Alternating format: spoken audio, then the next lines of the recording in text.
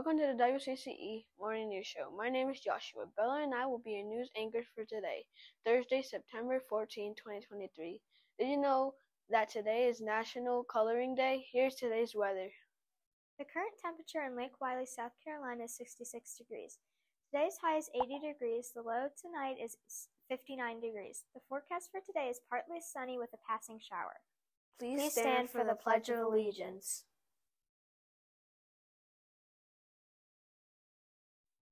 I pledge allegiance to the flag of the United States of America and to the republic for which it stands, one nation, under God, indivisible, with liberty and justice for all.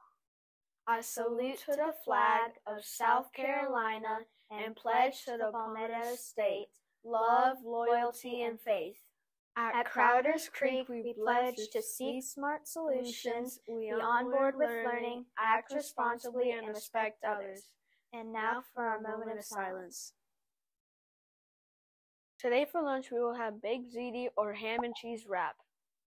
Mr. Thomas, Miss Hamilton, Miss House, and Mr. Palmer would like to wish a happy birthday to Dara Maitre and Joshua Gates. Please see a librarian for your book machine token. That's all the news for today. Thank you for watching the WCCE Morning News Show. Have a great day.